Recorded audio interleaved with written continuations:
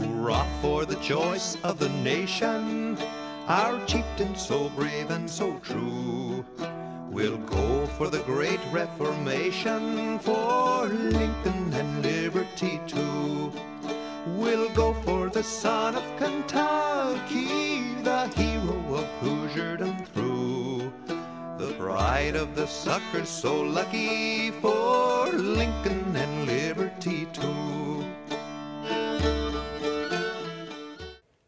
Hello, everyone, and welcome to part four in the American Civil War Gaming Club's YouTube series on John Tiller Software's Civil War games. In this part, we will head to the Tennessee Kentucky border and take a look at the Fort Donelson battlefield. Here, we will also look at all the different units in the game and how you can move each one of them on the map.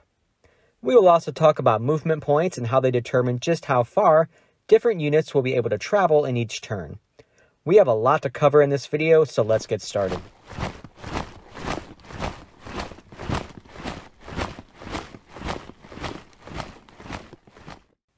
Here we are now at the Battle of Fort Donelson. Clicking on the overhead map here, you can see the Tennessee River over to the west where Fort Henry has fallen. And to the east, you can see the Cumberland River and Fort Donelson. Concentrated around the town of Dover, Tennessee, and the fort itself are the Confederate forces, while besieging them are the Federal forces of Ulysses S. Grant. I'm going to go ahead and click on the fort itself. Looking around, you can see that there are a number of different geographical features on the map. There are actually eight different features in total. I will put them up on the screen here to check out briefly. Each one of these has their own unique characteristics when moving through them, and they affect gameplay in their own ways. Further, there are something called hex side modifiers, which are located along the border of hexes. There are seven of these in total, and, just like terrain features, they affect gameplay and movement in numerous ways as well. We will discuss how these all affect combat in a future video, but for now, we are just keeping it all about movement. The best way to really get used to moving and how each terrain and hex side modifier affects your units is to simply play the game and experiment some. But let's do a quick rundown here so I can give you just the basics of movement and how it works, along with how terrain and hex sides can affect your movement range. We are now at the start of a movement phase, and I would like to move Wallace's brigade here north towards the coming battle at Fort Donelson. At the start of each turn, an infantry unit in good order will have a total of 12 movement points available to use. This info is located down here in the unit information box. So how far will I be able to advance? To find that out, I will have to check something called the parameter data up here under the help drop-down menu. The parameter data are the rules, basically, for the game. We will look at this data often in the future, so you may as well get used to it now. Because we are dealing with an infantry unit in column formation, I'm going to scroll down to that section showing how many movement points they need to move over certain terrain. Here we go. And now I'm going to do a little video magic and paste that right down here on the bottom for us to use as a reference. As you can see, I have color coded the different terrain types in yellow, the different transportation options in green, and the hex side modifiers in purple. Infantry units have three different formations they can use, column, line, and skirmishers. We will save skirmishers for another day though. We are just going to talk about column and line movement for now. So here we have the Infantry Brigade of W.H.L. Wallace. You can see here in the 11th Illinois Unit Information box the word and symbol for column formation. Whether you are in 3D mode or 2D mode, the box will look the same here. An infantry unit can move most efficiently when in column formation and moving along roads, pikes, railroad lines, and trails. The 11th Illinois will lead the advance of Wallace's brigade along this road. We can look at the chart here to see that an infantry unit in column, moving along a road, will cost one movement point per hex to move. So let's march. To do so, just left click and highlight your unit here, and then right click from hex to hex to move. As you can see with each hex I move along the road, the movement points decrease by just one. I can move a total of 12 hexes along this road, the maximum distance an infantry unit can move in a singular turn. Moving from hex to hex to hex is time consuming though.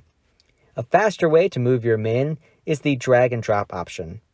Highlight or double click on a unit and then hold down the left mouse button and drag it to where you like them to move to. Then release the mouse button. The computer will then move them for you. Occasionally, the computer may choose a less than ideal course than the one you would have chosen yourself, but overall, they do a good job about 99% of the time. So now two of Wallace's regiments have moved north, but there are still two more infantry units to go. To move multiple units at once is simple and will save you a ton of time during the game. First, all the units you are looking to move need to be part of the same brigade. Both of these units are. Then you just highlight the lead unit, hold down the Alt key on the keyboard, and then right click on the destination hex and off they go. All trailing units of the same brigade will simply follow the course of the leading unit. Now let's take a look at this other column here to the southwest. This is Morrison's brigade moving along a trail through the forest. If your eyes can't quite see or make out that trail, then you can always double check what features are in the highlighted hex by coming down here to the terrain info box and right clicking. You will now see that a trail runs through the hex. Consulting our chart here, we see a unit in column uses two movement points per hex along a trail.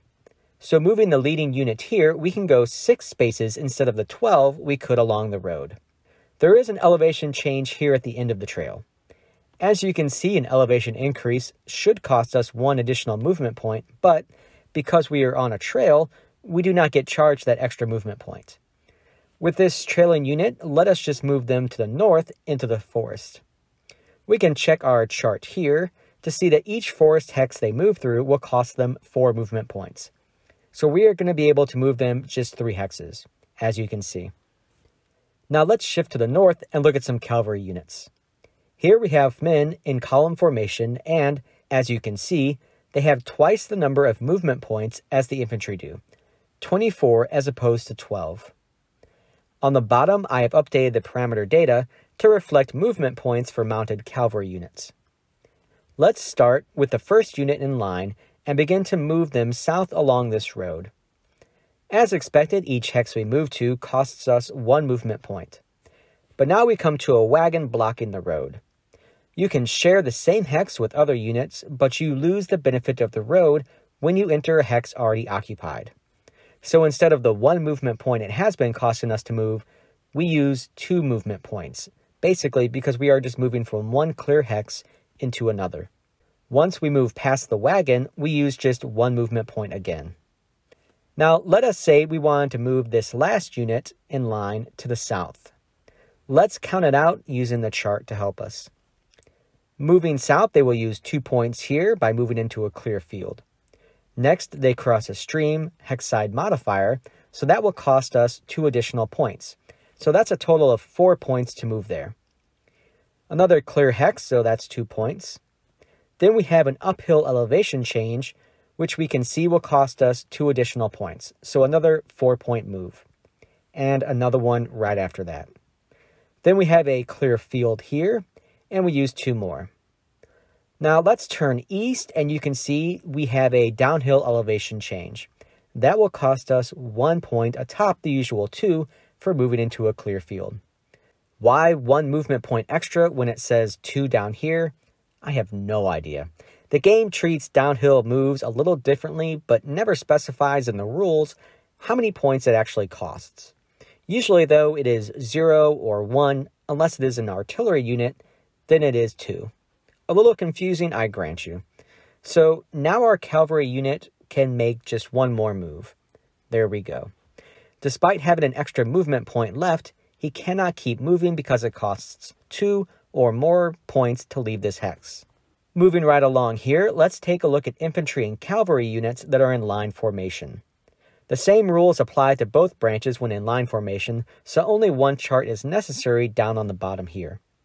Taking a look at Thayer's brigade over here, you can see that they are mostly already in line formation, as shown down on the bottom info box. This unit over here, though, is not.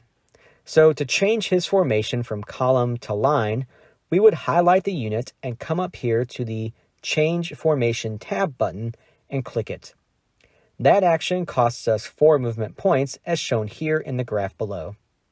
With 8 movement points left, the unit will advance over 2 clear field hexes, costing us 2 movement points each. And then they will cross a stream, which costs an extra point on top of the 2 to move to another clear hex. With just one movement point left, this unit cannot advance further. The next unit in line will begin its advance, and as you can see, we cross the same stream, but advance a little further because we did not change formation at the start of the turn. The next unit in line has to move through the forest hex, which you can see will cost 4 points, and then advance a few more hexes. This last unit, we will move north 1 hex, losing 4 points, and then over a fence line and a stream to the northeast into a field. Those hex side modifiers combine, 1 plus 1, to cost you 2 movement points to enter the hex from this direction, on top of the 2 to enter a field hex, totaling 4. Exiting this hex, we will cross another fence line, and we are down to just one movement point. We cannot move anymore. Let's scroll a little to the east now and move some artillery. I will go ahead and bring up their chart on the bottom here as well.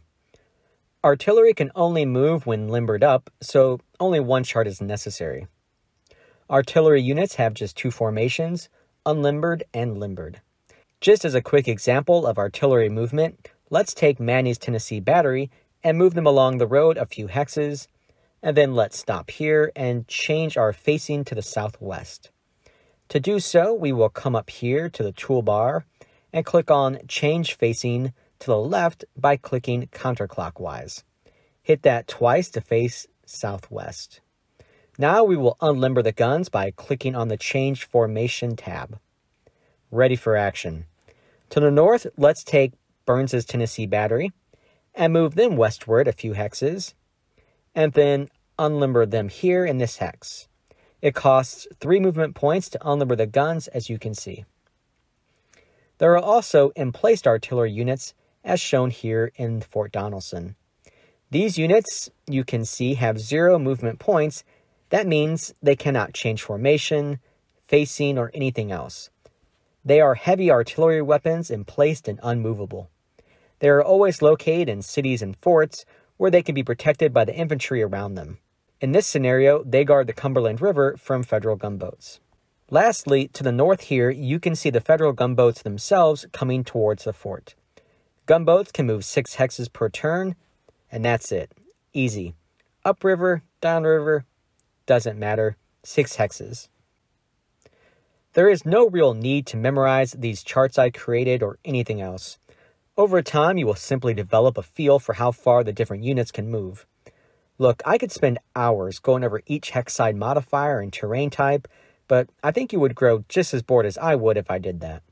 This video is just to give you the bare basics of movement and how to do it, while also providing you with a way to find more specific answers in the parameter data should you need them. Now that you have a general idea of how it works, the best way to get a feel for it is just to play the game yourself. I hope I have taught and shown you a few useful things here at Fort Donelson. Be sure to check the parameter data before each game as it will sometimes change slightly based on the campaign and scenario you are playing. If you have any questions or comments, feel free to leave them below and be sure to give us a like on here as well. In our next video, we will dive into greater detail concerning the infantry units and discuss how they fire offensively and defensively during a play by email game. We will also go over how your firing can be affected by things like hex side modifiers, terrain, and elevation. I hope to see you back here for part 5 in our series, where we will head back east to Virginia and the Battle of Fredericksburg. Thanks for watching.